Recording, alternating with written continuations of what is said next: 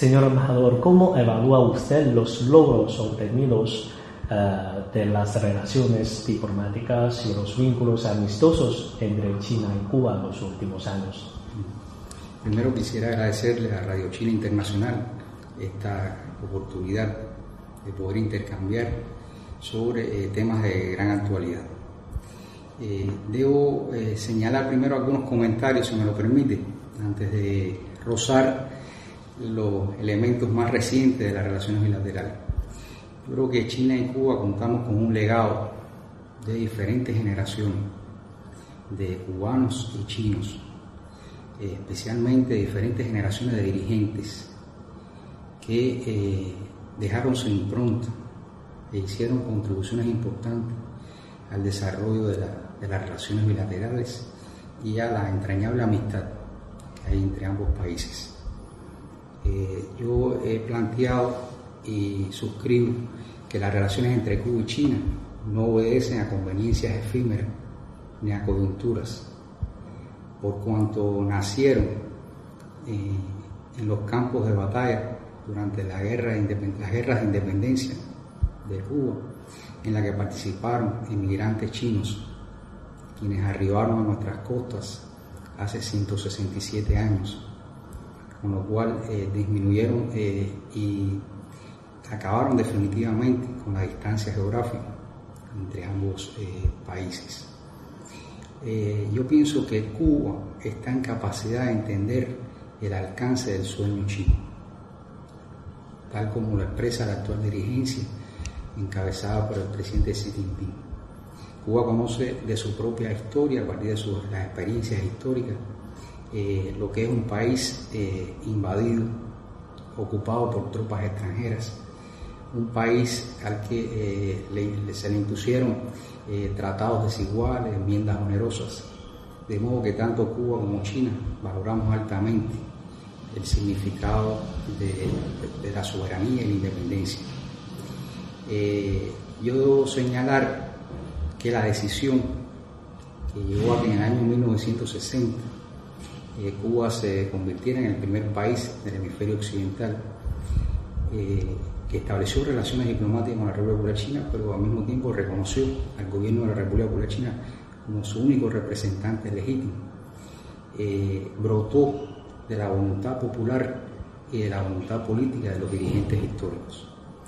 Usted podrá apreciar en la foto que, está aquí en este salón el momento histórico del 2 de septiembre de 1960, en que nuestro comandante en jefe Fidel Castro Russo, frente a un millón de personas, propuso, y ese millón de personas estuvo de acuerdo, en establecer relaciones diplomáticas con la República Popular China. De modo que ahí se, se engalzaron definitivamente la voluntad política de la dirigencia histórica y la voluntad popular eh, en nuestra relación. Yo eh, debo añadir que eh, los rasgos que han caracterizado las relaciones bilaterales se han mantenido y han soportado la prueba del tiempo. Eh, entre los rasgos más importantes está la voluntad política, está la prioridad que ambos países le concedemos a nuestros vínculos, la confianza política mutua, la concertación en, en los temas de la agenda internacional y el apoyo y el respeto mutuo que sentimos ambos países. Además del fluido intercambio entre los dirigentes de ambos países, yo diría que hay una simpatía natural entre ambos pueblos. Eh, debo eh, subrayar el fluido intercambio de visitas eh, partidistas y gubernamentales entre ambos países eh, asimismo, pienso que eh, se ha establecido ya una práctica de intercambiar enviados especiales para informarnos mutuamente sobre eventos eh, relevantes en cada uno de los países. Eso forma parte de los logros los años más recientes.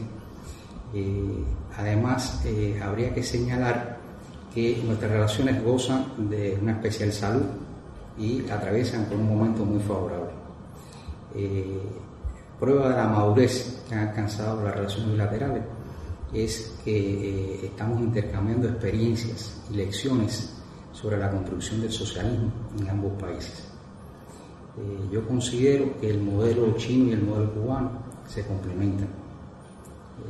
Mientras el primero ha consolidado su base económica que le permite concentrarse más en los temas sociales, el modelo cubano, por su parte, ha logrado determinados logros sociales e indicadores de índice de desarrollo humano, indicadores de salud, indicadores incluso de educación para todos, reconocidos por la UNESCO, que nos permite concentrarnos en, la coyuntura actual más en los temas eh, económicos.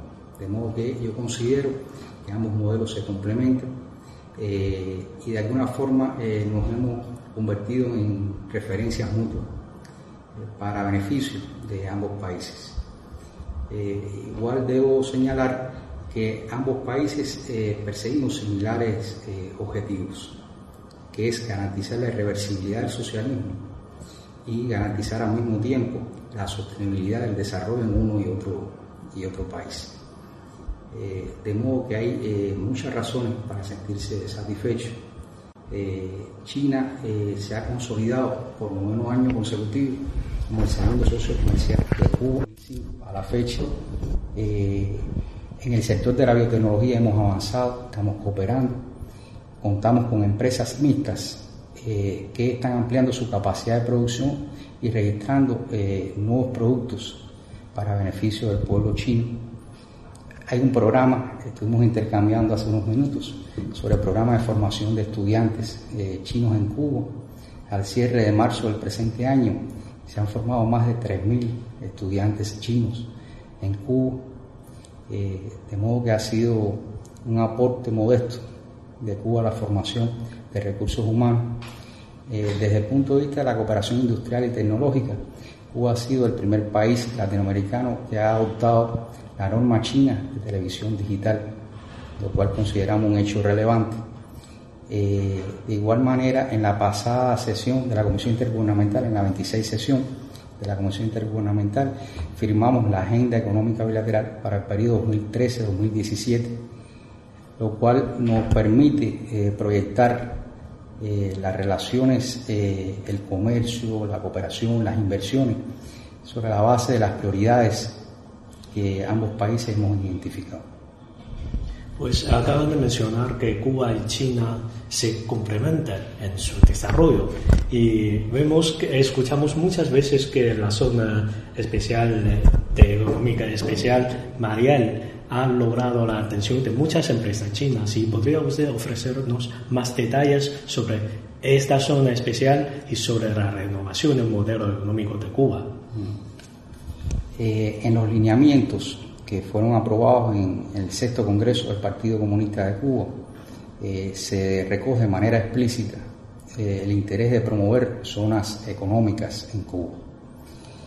Debo comenzar señalando que se ha ido forjando en Cuba un consenso nacional a favor de las transformaciones económicas que estamos eh, materializando. Eh, este, proceso de, forjar este consenso eh, ha sido precedido un debate popular muy democrático, muy amplio, antes de la celebración del sexto Congreso, ocasión en la que se aprobaron 313 lineamientos que se han convertido un poco en la brújula del proceso de, transformación. Este proceso eh, ha tomado en cuenta eh, la síntesis que hemos realizado de nuestras propias experiencias y lecciones en más de 50 años de, construcción del socialismo. Eh, y yo pienso que marcha a buen ritmo, sin prisa pero sin pausa, como ha expresado nuestro presidente general de ejército Raúl Castro, con gradualidad, con integralidad y eh, en este camino nos consideramos eh, que vamos avanzando. En tan breves minutos es, imposible eh, explicar cada una de las medidas que hemos adoptado en los últimos tres años. Solo voy a tratar de aportar algunas pinceladas en relación con, con estas medidas. el objetivo de todo lo que estamos haciendo es construir una sociedad socialista próspera y sostenible eh, hemos ido transitando hacia eh, en un grupo de actividades hacia formas no estatales de, gestión, lo cual nos va a permitir que el Estado se libere de esas actividades y pueda concentrarse en los sectores estratégicos para el desarrollo de, Cuba. Eh, yo diría que este proceso además ha estado acompañado de la constitución de manera experimental de más de 200 eh, cooperativas no agrícolas. Hasta el momento, eh, más de 400.000 trabajadores se han acogido a la modalidad del trabajo por cuenta propia. De igual manera, hemos ido dotando a nuestras empresas estatales socialistas de mayores facultades, de mayor autonomía, a fin de garantizar la eficiencia económica que se requiere y eh, yo pienso que al mismo tiempo hemos aprobado una nueva ley de inversión extranjera, su normativa, que a propósito van, a entrar en vigor, esta legislación va a entrar en vigor pasado mañana, 28 de junio, eh, definitivamente. Ya contamos con un programa de desarrollo económico y social a largo plazo, hasta el 2030, lo cual nos permite tener una proyección eh, hacia, el, hacia el futuro, hacia el largo plazo. y yo pienso que eh, se están dando pasos eh, seguros, es un proceso que avanza a ritmo, eh, a un buen ritmo, y esto va a, como había expresado, a garantizar definitivamente la construcción de un socialismo próspero y sostenible. Esto en relación con la actualización. Decía que en los lineamientos se recogía el interés de promover zonas especiales de desarrollo. Bueno, ya Cuba cuenta con su primera zona especial de desarrollo, Mariel. Está ubicada solo a 45 kilómetros de la capital, La Habana, al oeste de, la ciudad de La Habana. Eh, es una zona que cuenta con 465 kilómetros cuadrados.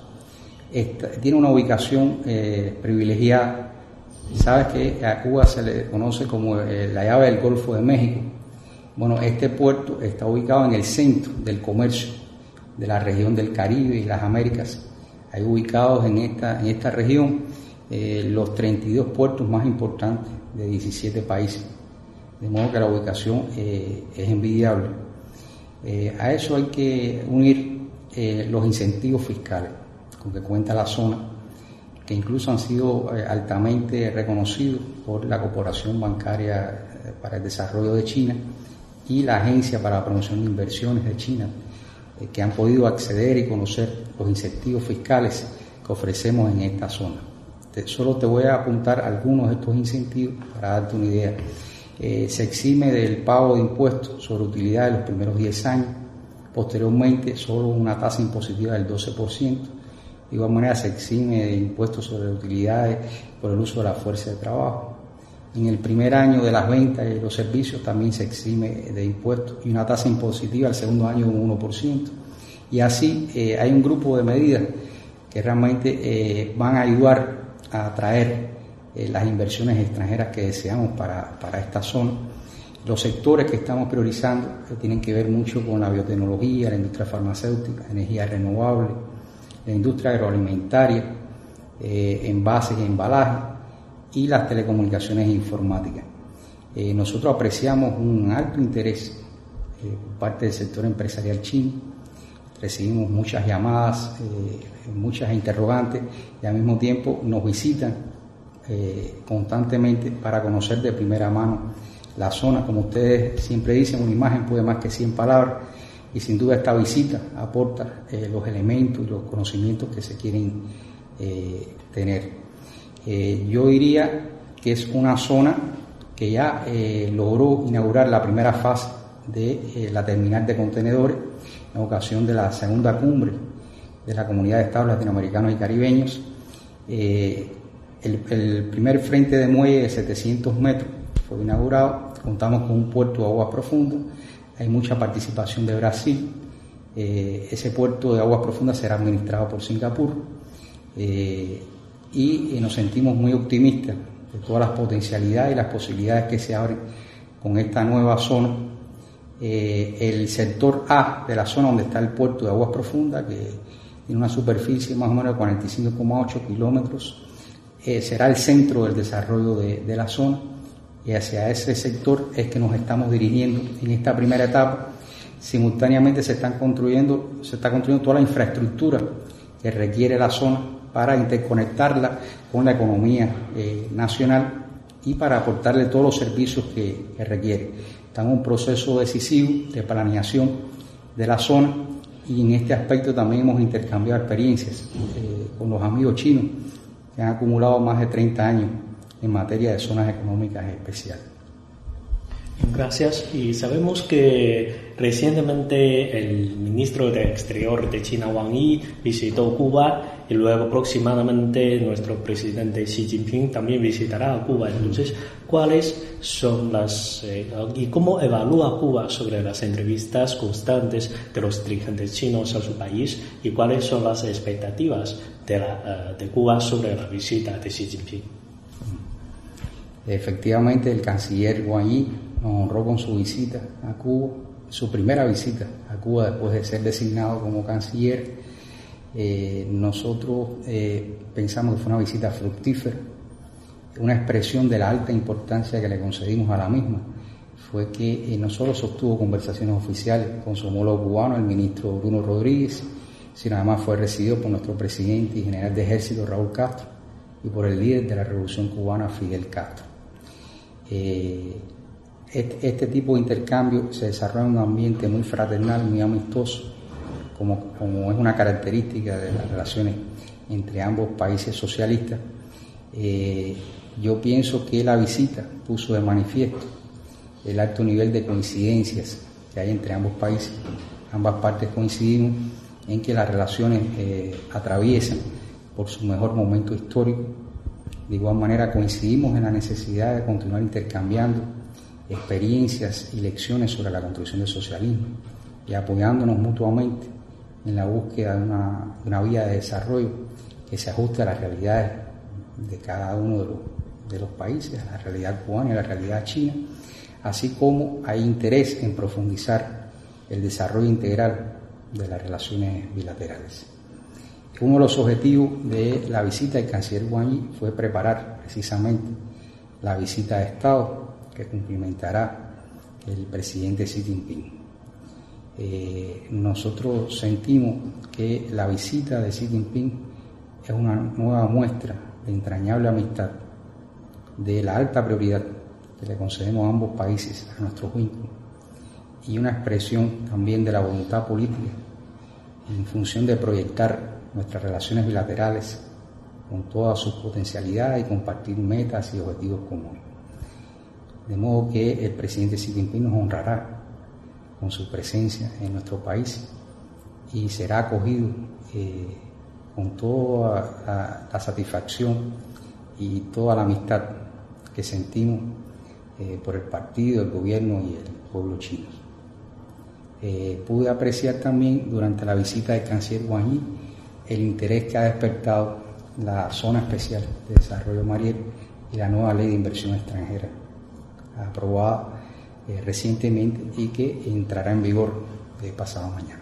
Actualmente son cada vez más estrechas los vínculos entre China y todo, eh, todo el bloque latinoamericano. Entonces, en la cumbre de CELAC de este año se aprobó una declaración para apoyar la construcción del Foro China-América Latina. ¿Y cómo evalúa Cuba este avance? debo señalar que Cuba se siente orgulloso de haber contribuido modestamente a despertar el interés recíproco entre América Latina y el Caribe y la única e indivisible China. Eh, esto ocurrió hace ya más de 54 años. Cuando conmemoramos eh, el aniversario de relaciones diplomáticas, también estamos conmemorando el inicio fecundo de las relaciones entre China y América Latina y Caribe. Precisamente este año estamos conmemorando medio siglo del arribo a Cuba de decenas de estudiantes chinos que encontraron en Cuba su primer destino para cursar eh, eh, estudios de idioma español. Cuando nosotros formamos más de 3.000 estudiantes chinos, no solo lo hacemos pensando en las relaciones entre Cuba y China, sino también lo hacemos pensando en, el desarrollo de las relaciones entre China y América Latina y el Caribe. Eh, nosotros eh, no solo apoyamos, sino acogemos con simpatía eh, el avance de las relaciones entre China y América Latina y Caribe, convencidos de que no se trata de una relación coyuntural, por cuanto cuenta con una estrategia a mediano y largo plazo, convencidos de que China es un factor de equilibrio y estabilidad a nivel mundial y en especial en nuestra región. se habla mucho del comercio entre China y América Latina y el Caribe y podemos consignar que al cierre del 2013 ese monto sobrepasó los 280 mil millones de dólares y nos estamos proponiendo duplicarlo eh, de cara al 2015. Pero eh, China también eh, coopera en materia tecnológica, por ejemplo, en el lanzamiento de satélites para países de América Latina, en la fabricación de aviones, en un sector como el de la biotecnología, sobre el cual estuve conversando hace unos minutos. De modo que yo pienso que las relaciones marchan de manera galopante, dando pasos seguros, eh, en línea y en frecuencia con el año del caballo. efectivamente, durante la segunda cumbre de la CELAC, la Comunidad de Estados Latinoamericanos y Caribeños, se aprobó lo cual fue un hecho relevante, la declaración especial para el establecimiento del Foro de Cooperación China-CELAC. En el plan de acción de esa cumbre eh, quedó eh, establecido que eh, se, va a trabajar por promover este foro y celebrar la primera reunión ministerial en el 2014, este en este año. De modo que ya está iniciado el tema, hay expectativas. Durante la segunda cumbre se declaró a América Latina y Caribe como una zona de paz, con lo cual coincide China. No hay conflictos de intereses entre China y América Latina y el Caribe en lo fundamental. Eh, y eh, coincidimos en la defensa de los principios del derecho internacional, coincidimos eh, en la necesidad de trabajar y avanzar en la integración genuina de América Latina para enfrentar los desafíos comunes y para lograr un desarrollo sostenible.